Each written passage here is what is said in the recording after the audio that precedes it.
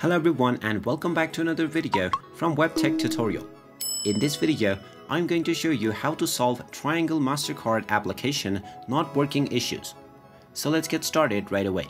If your Triangle MasterCard application is not working as it is supposed to, then there are a few things that you can do to fix this.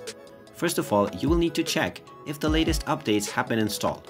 So open up the iOS App Store or the Google Play Store and then tap on the search box and search for Triangle MasterCard application. Once you find the application, if you see the update button instead of open, then this means you will need to install the latest updates. So tap on the update button and wait until the update is complete. Once you see the open button once again, just tap on it and open up the app and see if the issue is resolved. If it still doesn't work as intended, then you can go ahead and open up your phone settings and then tap on apps. From the apps menu, just search for the Triangle MasterCard application and then tap on it. This will then take you into its settings page. Now just scroll down and first of all tap on force stop. Then tap on OK to stop the application and then tap on the storage option to open up the storage menu.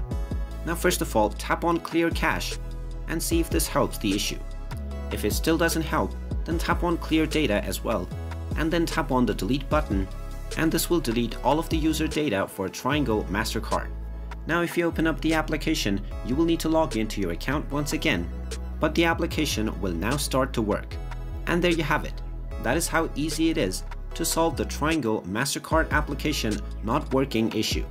If you find this video helpful, make sure you hit that like button and subscribe to our channel if you haven't done so already.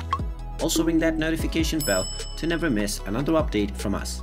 Thank you for watching and I will see you again in the next video.